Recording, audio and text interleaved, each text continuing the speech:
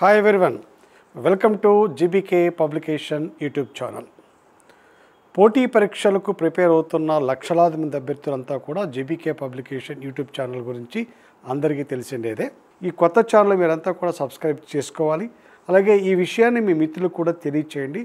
తద్వారా మీకు మరింత మెరుగైన సేవలు అందించేందుకు మాకు అవకాశం ఏర్పడుతుంది.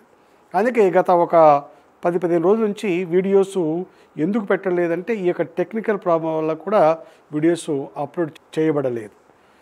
ఇక నుంచి రెగ్యులర్గా మేము అభ్యర్థులకు అవసరమైన అన్ని యొక్క వీడియోస్ను ఈ యొక్క యూట్యూబ్ ఛానల్లో మేము అప్లోడ్ చేస్తాం.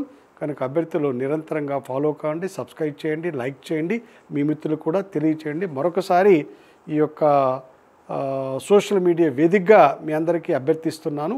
ఇది ఈ జరిగిన సంఘటనకు మీరంతా కూడా తిరిగి మాకు మళ్ళీ మీరు సపోర్ట్ చేయాలని చెప్పేసి కోరుతున్నాను. ఇది నా వంతుగా మిమ్మల్ని నేను కోరడం జరుగుతుంది. నా ప్రేమేం లేకుండా మీ ప్రేమేం లేకుండా ఈ విధంగా హ్యాక్ కావడం అనేది చాలా ఇబ్బందులకు గురి చేసింది. ఓకే ఇది ఒక పార్ట్. ఇప్పుడు ప్రస్తుతం మీ అందరికీ తెలిసిండేదే నిన్నటి రోజున అంటే ఆగస్టు ఇరవై ఎనిమిదవ రోజున అందరికీ తెలుసు మీకు ఆంధ్రప్రదేశ్ ప్రభుత్వం చాలా రోజుల నుంచి ఎదురు చూస్తున్న గ్రూప్ వన్ గ్రూప్ టూ నోటిఫికేషన్లకు సంబంధించి ఆర్థికపరమైన క్లియరెన్స్ లభించింది. ఈ అందరికీ ఈ సమాచారం అందరికీ తెలుసు కనుక దానిపైన ఎక్కువ చెప్ప చెప్పదలుచుకోలేదు. లభించింది. దీంతో ఇక నోటిఫికేషన్లు రావడానికి అవసరమైన అన్ని అనుమతులు ఆటోమేటిక్గా వస్తాయి. ఎందుకంటే ఆర్థిక శాఖ నుంచి పర్మిషన్ రావడమే చాలా కష్టం. ఒకసారి వచ్చిన తర్వాత ఇక rule of reservations roster point zonal wise పోస్టులు ఇవన్నీ కూడా ప్రభుత్వం ఏపీఎస్సి వాళ్ళకు పంపిస్తుంది. ఏపీఎస్సికి పంపడం జరుగుతుంది. ఏపీఎస్సి వారు అవన్నీ కూడా రూల్స్ అండ్ రెగ్యులేషన్ తయారు చేసి మ్యాక్సిమం సెప్టెంబర్ థర్డ్ వీక్లో ఈ యొక్క నోటిఫికేషన్లు వచ్చేందుకు అవకాశం ఉంటుంది. ఫస్ట్ గ్రూప్ వన్ ఇస్తారు తర్వాత group two notification hundred percent వస్తుంది. ఇది అందరికీ మనకు తెలిసిన సమాచారం. ఇక నంబర్ ఆఫ్ వేకెన్సీస్కి సంబంధించి అభ్యర్థులంతా కూడా దాదాపుగా రెండు మూడు సంవత్సరాల నుంచి కొన్ని వేల సంఖ్యలో పోస్టులు వస్తాయని చెప్పేసి అనుకున్నారు గ్రూప్ టూ కానీ ప్రస్తుతానికి అన్నీ కలిపి ఏడు వందల ముప్పై పోస్టులు మాత్రమే మనకు అనుమతి వచ్చినట్లుగా తెలుస్తోంది. ఇది కొంతవరకు నిరుత్సాహపరిచే అంశమే. ఎందుకంటే గత ఐదు సంవత్సరాలుగా ఆంధ్రప్రదేశ్లో గ్రూప్ టూ నోటిఫికేషన్ రాలేదు. మరి ఐదేళ్ళలో కేవలం ఏడు వందల పోస్టులు కూడా ఖాళీ కావా? కొన్ని వేల సంఖ్యలో ఖాళీలు ఉన్నాయి. ప్రభుత్వం అన్నిటికి అనుమతి ఇవ్వలేదు. కనుక మరికొన్ని పోస్టులకు ఇంకొక మూడు వందల నుంచి నాలుగు వందల పోస్టుల వరకు మరొకసారి ప్రభుత్వం అనుమతి ఇస్తుందని చెప్పేసి మనకు ఒక ఆశావాహ దృక్పథం ఉంది. అందుకు సంబంధించి అభ్యర్థులంతా కూడా ప్రభుత్వాన్ని మరొకసారి కోరాలి. మీ యొక్క పరిధుల్లో మీరు కంపల్సరీ ప్రభుత్వానికి విజ్ఞప్తి చేయాలి డిమాండ్ చేయాల్సిందే. ఎందుకంటే ఐదేళ్ళ తర్వాత ఏడు వందల పోస్టులకు మనము కంప్లీట్ కావడం అనేది పూర్తిగా అది I can say it is a mockery అది పరిహాసము అంటాను నేను. ఈ ఈ రోజుల్లో ఈ పోస్ట్ అనేది వెరీ చాలా తక్కువ. ఇది మన ఒక హక్కుగా మీరంతా భావించి ప్రభుత్వాన్ని డిమాండ్ చేయొచ్చు నంబర్ ఆఫ్ వేకెన్సీస్ పెంచాల్సింది. ఇందులో ఏమాత్రము సందేహం లేదు. మీరు డిమాండ్ చేసే హక్కు ఉంది. వివిధ పద్ధతుల్లో రాజ్యాంగ చట్ట పద్ధతుల్లో ప్రభుత్వానికి విజ్ఞాపనలు పంపించాల్సిందిగా మీ అందరికీ ఒక బాధ్యత గల ఒక అధ్యాపకుడిగా అలాగే న్యాయశాస్త్రపరమైన అవగాహన ఉన్న ఒక లాయర్గా మీ అందరికీ ఈ యొక్క విషయాన్ని తెలియజేస్తున్నారు మీ వంతు మీరు చేయండి మా వంతు కూడా మేము ప్రయత్నం చేస్తూనే ఉంటాం. వేగించలైతే మాత్రం కంపల్సరిగా పెరగాల్సిందే. కనీసం అంటే వెయ్యి నుంచి పన్నెండు వందల వరకు వేకెన్సీలు వస్తే గ్రూప్ టూ అభ్యర్థులకు కొంతవరకు వాళ్ళ ఉత్సాహాన్ని తో లేదా ఉత్సాహంతో ఎగ్జామినేషన్ ప్రిపరేషన్ కొనసాగించేందుకు ఆస్కారం ఉంటుంది. ఈ విషయాన్ని అభ్యర్థులు గమనించండి. రైట్. ఇక వేకెన్సీస్కి సంబంధించి గ్రూప్ వన్లో మీరు అందరికీ తెలుసు గ్రూప్ వన్లో కేవలం ఎయిటీ నైన్ ఉన్నాయి. ఓకే గ్రూప్ వన్లో ఎయిటీ నైన్ అంటే ఒప్పుకుంటాం. మొత్తానికి బ్యాక్లాగ్స్ కలిపి ఒక వంద నూట పది నూట ఇరవై వస్తాయి. ఇది కొంతవరకు మంచిది. ఎందుకంటే గత మూడేళ్ళుగా ప్రభుత్వం సో పిరియాడికల్గా గ్రూప్ వన్ నోటిఫికేషన్ ఇస్తుంది. మూడో నోటిఫికేషన్ కనుక ఇందులో పోస్టులు గురించి అభ్యర్థులు పెద్దగా మదన పడటం లేదు. గ్రూప్ వన్కి సంబంధించి. ఇక every year they are giving notification just span of one and half ఇయర్లో జరుగుతోంది. ఇది ఒక విధంగా ప్రభుత్వాన్ని అభినందించాల్సింది. ఎక్కడ అభినందించాలో అక్కడ అభినందించాల్సిందే. ఎక్కడ మనకు అవసరం ఉందో అక్కడ డిమాండ్ చేసి తీరాల్సిందే. సో అడగంది అమ్మాయినా పెట్టదంటారు. ఈరోజు ప్రభుత్వాలు అడిగినా కూడా పెట్టే పరిస్థితులు లేవు. డిమాండ్ చేసే పరిస్థితుల్లో మనం ఉండాల్సిందే. సో అందుకు అభ్యర్థులంతా కూడా సన్నద్ధం అయి మీ యొక్క పరిధిలో మీరు ప్రయత్నాలు చేయండి. ఈ గ్రూప్ గురించి ఓకే అది బాగానే ఉంది దానిపైన చర్చ మనకు అనవసరం.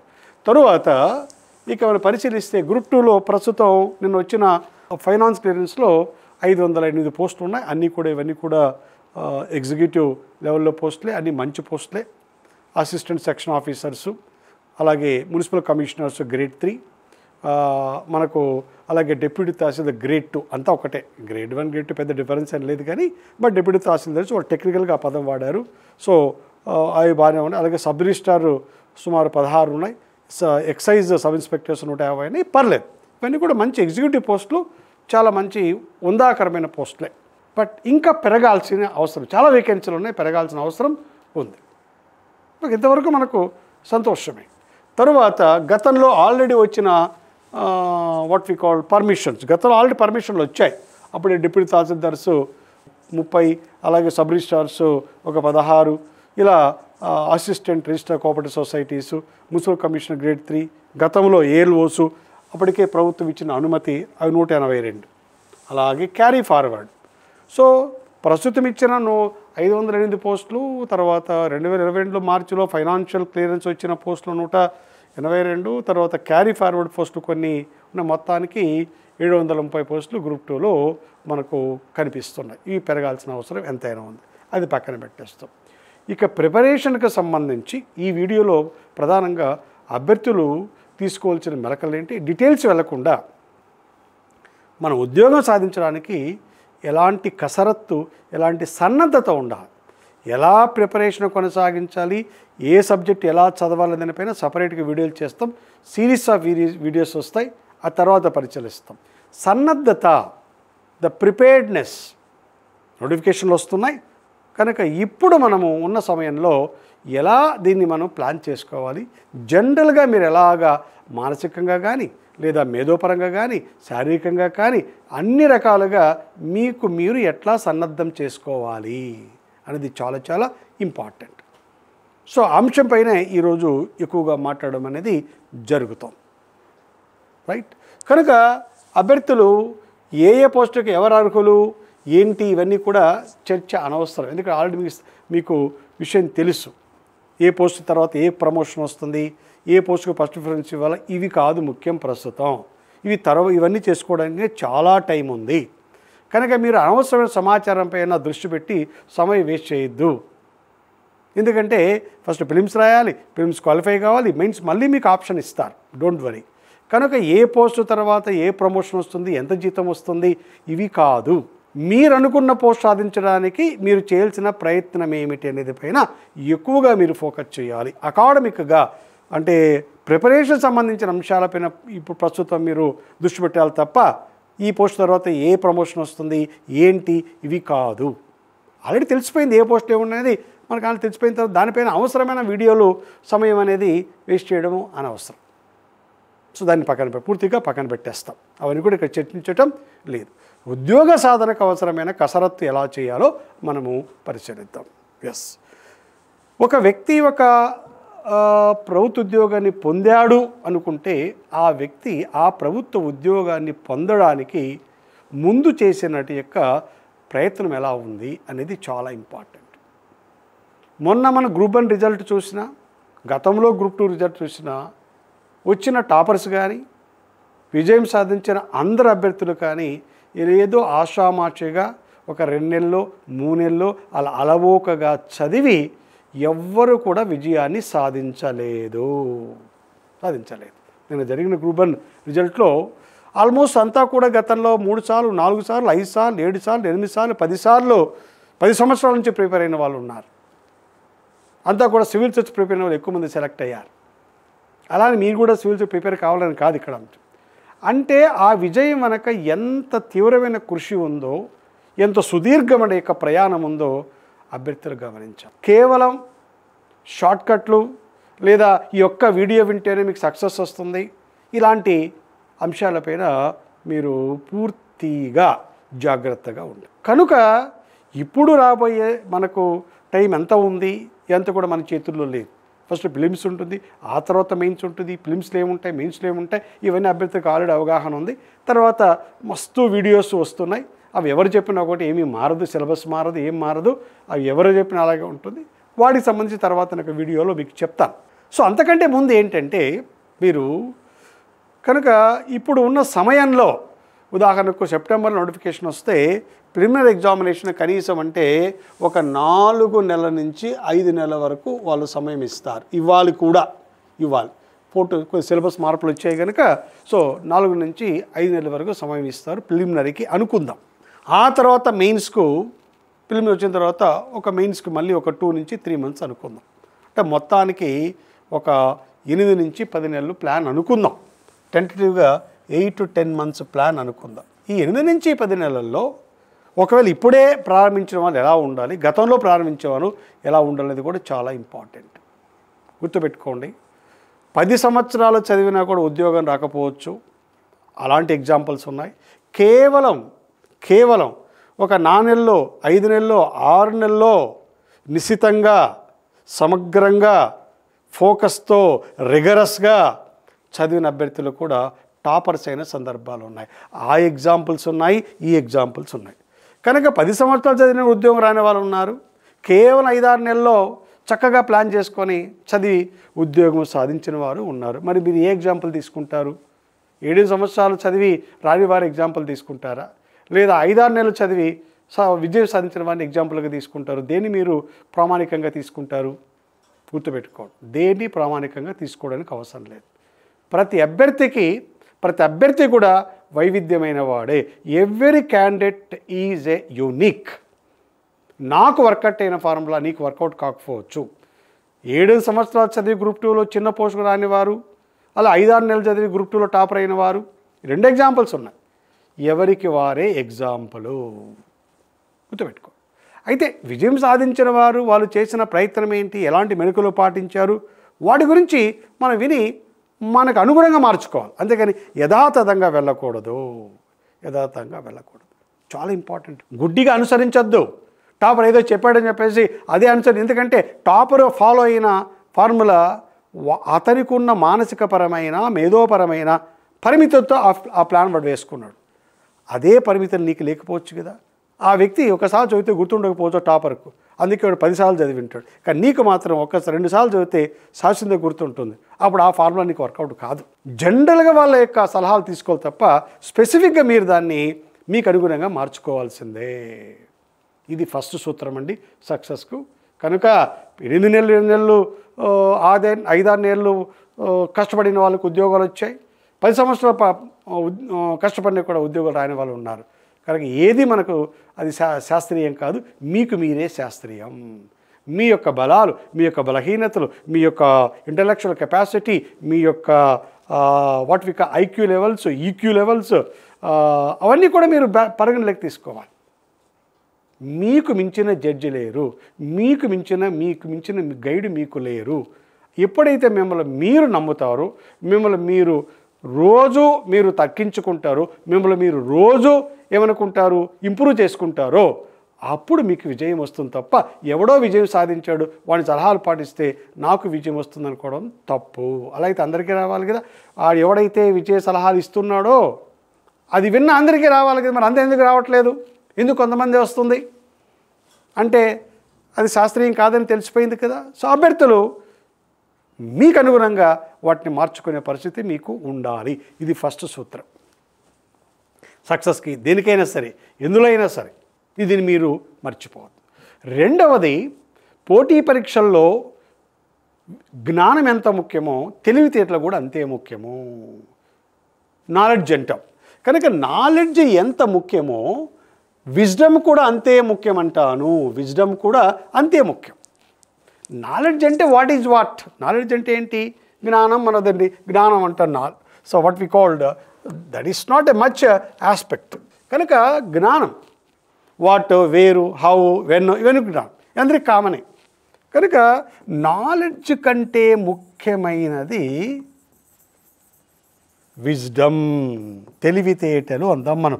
తెలుగులో wisdom is very very important wisdom is very very important ఇక్కడే అభ్యర్థులు ఇక విజయాలు ఆధారపడి ఉంటాయి. నాలెడ్జ్ మీద కాదు. గుర్తుపెట్టుకో. ఉదాహరణకు ఇప్పుడు టమాటా ఉంది. టమాటో అనేది ఫ్రూటా వెజిటబులా అని మీకు తెలుసుకో టమాటా ఫ్రూట్ కమ్ వెజిటబుల్ అని మీకు తెలుసు. That is call knowledge tomato is a both tomato is a both vegetable and fruit అని మనకు నాలెడ్జ్ ఉందనుకో. That is call knowledge but అది విజ్డమ్గా మారాలి. ఎప్పుడు విజ్డమ్గా మారాలి? ఆ టమాటా వెజిటబులా ఫ్రూటా అని నీకు నాలెడ్జ్ ఉంది అది వెజిటబుల్ కమ్ ఫ్రూట్ అని అంటారు అని తెలుసు. కానీ దాన్ని ఫ్రూట్ సాలడ్లో వాడాలా వద్దా అనేదే నీ యొక్క విజ్డమ్ ఎవడు కూడా ఫ్రూట్ సాలడ్లో ఆ, టమోటాను వాడరు వాడరు. ఫ్రూట్ అని నువ్వు వాడకూడదు. నాలెడ్జ్లో నీకు ఏం చెప్పుకున్నావు? ఇది ఫ్రూట్ అండ్ వెజిటబుల్ అని చెప్పుకున్నావు. ఫ్రూట్ కదా. మరి ఎవడైనా ఫ్రూట్ సాలడ్లో ఫ్రూట్ సలాడ్లో టమోటా వాడతారా? వాడు. దాన్నే విజ్డమ్ అంటారు. వినడం వింటారు. గుర్తుపెట్టుకుంటారు. దాన్ని అప్లికేషన్ చేయగలగాలి. ఆ అప్లికేషన్ చేయడమే విజ్డమ్ అండి ఇది రెండవ సూత్రం. అభ్యర్థులు గమనించాల్సింది. సో గుడిగా అనుసరించవద్దు. అనుకరించవద్దు. మీ వంతాన్ని మీరు ఏర్పరచుకోండి. ఇక మూడవ సూత్రం ఏంటంటే ఏదైతే సిలబస్ ఉందో ఏదైతే స్కీమ్ ఉందో దానికి అనుగుణంగా మీరు ప్రిపేర్ కావడానికి అవసరమైన సరంజామా మీ దగ్గర ఉందా? దాన్నే మనం స్టడీ మెటీరియల్ అంటాం. మనం ప్రస్తుతం ఏ పోటీ పరీక్షగా ప్రిపేర్ కావాలనుకున్నా మీ దగ్గర కొంత పైకం కొంత మొత్తం ఉంటే ఒక మూడు వేలు నాలుగు వేలు ఉంటే గ్రూప్ టూకు అవసరమైన అన్ని పుస్తకాలు కొనుక్కోవచ్చు. కనుక మెటీరియల్ గ్యాదరింగ్లో ఇబ్బందులు ఏమీ లేవు. నాకు తెలిసినంత వరకు. ఒక మూడు నాలుగు వేలు ఖర్చు పెడితే మొత్తం అన్ని పుస్తకాలు అన్ని పుస్తకాలు వచ్చేస్తాయి. అయితే మరి మొత్తం గ్రూప్ టూకు ఒక ఆరు లక్షలు ఎనిమిది లక్షల మంది రాస్తారనుకుంటే అందులో సీరియస్గా ఐదు లక్షలు అనుకుంటే అందులో చాలామందికి ఒక మూడు వేలు నాలుగు వేలు అప్పు సప్పు చేసి పుస్తకాలు కొనుక్కునే స్తోమత అయితే ఉంటుంది. ఉంటుంది. మరి అందరూ ఆ పుస్తకాలు కొంటారు కదా అందరూ అదే పుస్తకాలు చదువుతారు కదా అలాంటప్పుడు మరి వాళ్ళతో నువ్వు ఎట్లా పోటీ పడతావు? నీకున్న ప్రత్యేకత ఏంటి? ఇక్కడే తేడా చూపించాలి. కనుక మార్కెట్లో అవైలబుల్లా అవైలబుల్గా ఉన్న బు- బుక్స్ కానివ్వండి స్టడీ మెటీరియల్ కానీ అందరూ అదే చదువుతారు. కానీ మీరు దాన్ని ఇతరుల కంటే వైవిధ్యంగా చదివినప్పుడే ఎక్కువ స్కోరు మీకు వస్తుంది. ఎస్ వైవిధ్యంగా ఎలా చదవాలి? వైవిధ్యంగా ఎలా చదవాలనేది మీరు ఆ చదువుతున్న సమయంలో గతంలో వచ్చిన ప్రశ్నలు అనుగుణంగా సబ్జెక్ట్ను మీరు దాన్ని ఏం చేసుకోవాలంటే తర్కబద్ధంగా విడదీసుకుంటూ వెళ్ళాల్సి ఉంటుంది. అంతేగాని నంబర్ ఆఫ్ బుక్స్ తీసుకొని ఫుంకాను ఫుంకానుగా ఒక సబ్జెక్ట్ పైన ఐదారు పుస్తకాలు చదివి అంత గందరగోళంలోకి పడిపోయి లేదా ఎక్కువ పుస్తకాలు చదివాను అని ఒక రకమైన దాన్ని ఏమంటాం తృప్తిలేకి ఒక సెక్యూర్డ్ జోన్లోకి మీరు వెళ్ళారంటే ఆలోచన మర్చిపోతారు. ఆలోచన మర్చిపోతారు కనుక ప్రతి సెంటెన్స్ను ప్రతి అంశాన్ని మీరు తర్కబద్ధంగా ఆలోచనాత్మకంగా ఎట్లా ఆలోచనాత్మకంగా తర్కబద్ధంగా చదవాలి? అంటే చిన్న విషయం చెప్తాను మీకు.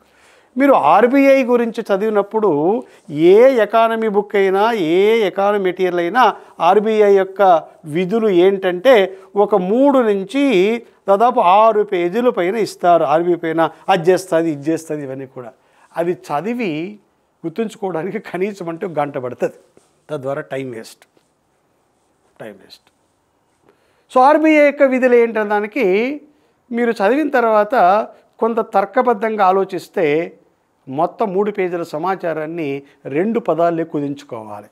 ఆర్బీఐ విధులు ఏంటంటే ఇక్కడ మీకు సింపుల్గా చెప్తాను. సి అండ్ సి అంటాను రెండే పదాలు. ఆర్బీఐ చేసే విధులు అంటే రెండే.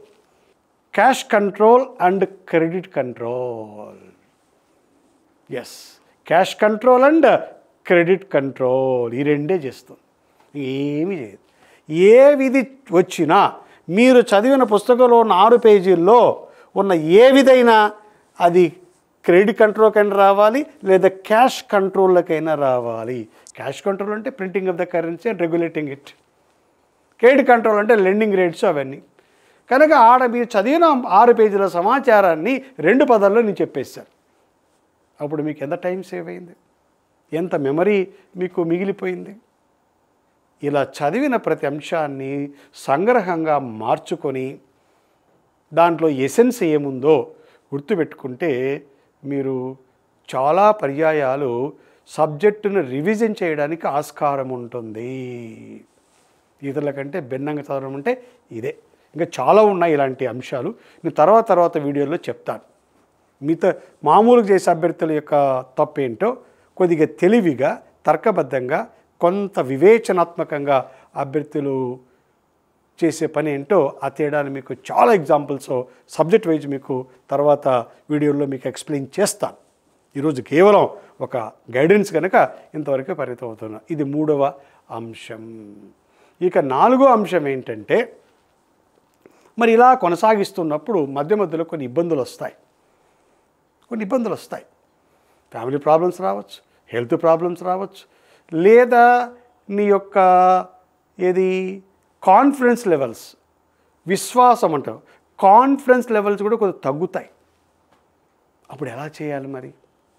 అప్పుడు ఏం చేయాలంటే వెంటనే మీరు చదవడం అనే ఒక ప- రెండు మూడు గంటలు ఆపేసి మిమ్మల్ని కలవర పెడుతున్న అంశం ఏంటి? బాగా చదవలేకపోతున్నారా? రిజన్ చేయలేకపోతున్నారా? లేదా ఇతరత్ర ఏమైనా అంశాలు ఉన్నాయా ఎందుకు భయపడుతున్నారు? మీ ఫియర్కు మీ ఆత్మవిశ్వాసం తగ్గ తగ్గడానికి ఏది కారణమై ఉండొచ్చు? ఇతరుల యొక్క చదివే తీరును చూసి మీరు భయపడినారా? లేకుంటే మీలో మీరు శక్తి తగ్గుతుందని మీరు అనుకుంటున్నారా? ఈ డౌట్లు వచ్చినప్పుడు మీకు తెలిసిన వాళ్ళు పెద్దలు లేదా ఒక మంచి ఫ్యాకల్టీ మెంబర్ సబ్జెక్టులో నిష్ణాతులు నిజాయితీగా సలహాలు ఇచ్చే వాళ్ళు వాళ్ళని సలహా తీసుకుంటే మరొకసారి మళ్ళీ మోటివేట్ అవుతారు. మళ్ళీ మీరు స్ట్రెంగ్త్ వస్తుంది. మళ్ళీ ప్రిపరేషను అదే స్థితిలో కొనసాగించగలుగుతారు. డెఫినెట్గా ప్రతి అభ్యర్థికి ఈ యొక్క ఇబ్బంది పడిన వారే గతంలో సక్సెస్ అయిన ప్రతి అభ్యర్థి కూడా ఈ ఈ ఇబ్బంది గురైన వారే. ఈ సమస్యకు వాళ్ళు ఎదురొచ్చిన వారే. ఎదురీత ఉంటుంది. కంపల్సరీగా ఎదురీత ఉంటుంది. అంతే కదా? దాన్ని అధిగమించాలి. వేరే మార్గం లేదు. పలాయనం ఉండకూడదు.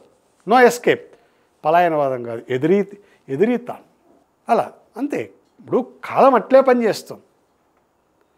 మనము సో అలా నిద్ర వస్తుందని చెప్పేసి కనురెప్ప వాలిస్తే కాలం ఏం చేస్తుంది? నిద్రపోరా బాబు అని చెప్పేసి అది జూ కొడుతుంది.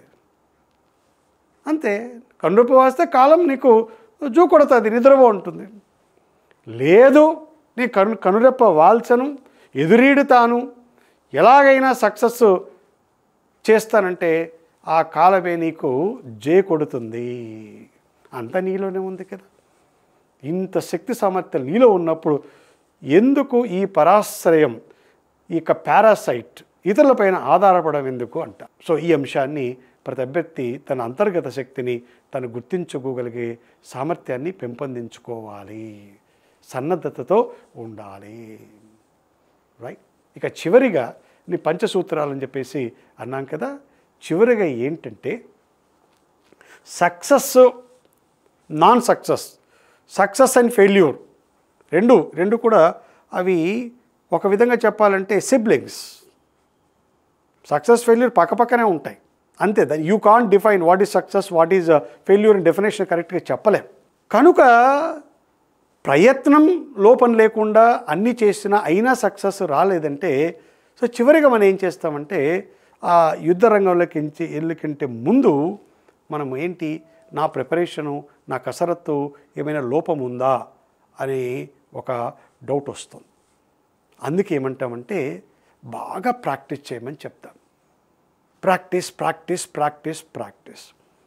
మీరు ఎంత కష్టపడి ఎంత చెమటోడ్చి భౌతికంగా ఇబ్బందులకు గురై నిరంతర శ్రమ నిరంతర సాధన ఉంటుందో కనుక అప్పుడు మీకు యుద్ధరంగంలో వెళ్ళినప్పుడు మీకు ఆత్మవిశ్వాసం అనేది రెట్టింపు అవుతుంది. ఏ సైనికుడైతే శిక్షణా సమయంలో ఎక్కువ చెమట ఓడుస్తాడో బాగా గట్టిగా యుద్ధ రంగంలో తక్కువ రక్తాన్ని వాడు కార్చే అవసరం ఉంటుంది. తక్కువ రక్తాన్ని వాడు కోల్పోతాడు. ఎందుకంటే ట్రైన్డ్ సోల్జర్ కదా. ప్రతి ఊహించని అనూహ్యమైన పరిణామాన్ని కూడా ఎదుర్కొనే సామర్థ్యాన్ని వాడు శిక్షణలో పొంది ఉన్నాడు. అందుకే శిక్షణ సాధన మీరు ఎక్కువ చేస్తే ఆ యుద్ధ రంగంలో ఆ పరీక్ష సమయంలో మీకు తక్కువ ఇబ్బంది కలుగుతుంది అంటాను. ఇది ఇంపార్టెంట్. ఈ ఐదు సూత్రాలు ఫస్ట్ మీరు మీరు నింపుకొని ఆ విధంగా మీరు ఆత్మవిశ్వాసాన్ని పెంపొందించుకొని మొదట అట్లా గట్టిగా నమ్మకంతో ప్రారంభిస్తే విజయం తథ్యం. అందుకే ఏమంటారు? Good beginning is half success అంటారు. ప్రిపరేషనే బిగినింగే మంచిగా ప్రారంభించాలి. గుడ్ బిగినింగ్ ఆఫ్ సక్సెస్ అంటారు. అనుమానంతో ప్రారంభిస్తారు. చాలా చాలా డౌట్లతో ప్రారంభిస్తారు. ఇంకా ఇతరతరమైన చాలా జాడ్యాలుతో అభ్యర్థులు ప్రారంభిస్తారు. ఆదిలోనే అంశపాదంలాగా అన్ని అడ్డంకులు సృష్టించుకుంటారు. అలాంటి వారికి ప్రతిదీ అడ్డంకి. అంతే కదా? కనుక ప్రతి ఒక్క సమస్యలోనూ ఒక పరిష్కారం ఉంటుంది. వీడేమో ప్రతి పరిష్కారంలో ఒక సమస్య చూస్తాడు. మీ మెంటల్ మేకప్ అనేది చాలా చాలా ఇంపార్టెంట్. ఇలా ఫస్ట్ మీరు మీ అంతకు మీరు సన్నద్ధం కావండి. తరువాత ప్రిపరేషన్ మొదలెట్టండి. ఇలాంటి సాఫ్ట్వేర్ లేకుండా ఎలాంటి హార్డ్వేర్ లేకుండా డైరెక్ట్గా కంప్యూటర్ ఆపరేట్ చేస్తారా మీరు? నో తప్పది.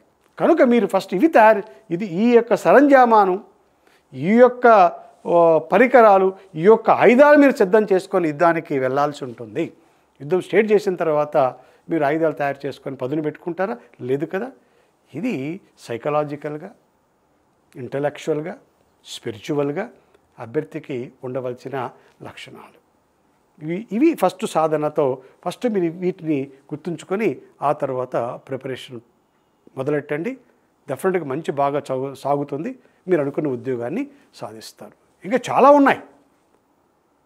సో ఇదండి అభ్యర్థులకు కావలసిన మొదటి దశలోని ప్రయత్నం. రైట్ కనుక అనవసరంగా అలా ఇలా ఆ వీడియో ఈ వీడియోలు అలా ఇలా సో విపరీతమైన యొక్క సమాచారం వచ్చి అభ్యర్థుల గందరగోళంలో పడేసి వద్దురా బాబు ఈ యొక్క అడ్వైజులు వద్దు ఏమొద్దు మాకు పిచ్చి పడిపోతుంది అనే పరిస్థితులకి నెట్టివేయబడద్దు అంటే ప్రతి ఒక్కరు కూడా ఈరోజు కోచింగ్ చేసే స్థాయిలో ఉన్నారు ప్రతి ఒక్కరు కూడా కౌన్సిలింగ్ చేసే స్థాయిలో ఉన్నారు కనుక ఏది అవసరమో ఏది అవసరం లేదు ఏమి అందులో ఇమిడి ఉందో అందులో ఉండే యొక్క ఇంటర్నల్ ఆస్పెక్ట్స్ ఏంటో ఇంటర్నల్ డైనామిక్స్ ఏంటో తెలియకుండా పై పైగా సూపర్ఫిషియల్గా మీరు ఇలాంటి సలహాలు వింటే నష్టపోతారు. సో దిస్ ఇస్ టుడేస్ ఈ యొక్క ఐదు అంశాలు గుర్తుపెట్టుకోండి. తర్వాత మరొక వీడియోలో ఇక మీ సబ్జెక్టులు వాటికి సంబంధించిన ఇంప్రూవ్మెంట్ ఎలా చేయాలో మీకు మరింత శాస్త్రీయంగా తర్కబద్ధంగా మీకు తెలియచేస్తుంది. రైట్ కనుక అభ్యర్థులు జీబీకే పబ్లికేషన్ యొక్క యూట్యూబ్ ఛానల్ మరొకసారి అంతా కూడా సబ్స్క్రైబ్ చేసుకోండి లైక్ చేయండి అలాగే మీ మిత్రులు కూడా ఈ విషయాన్ని తెలియచేయండి. Thank you see in the next video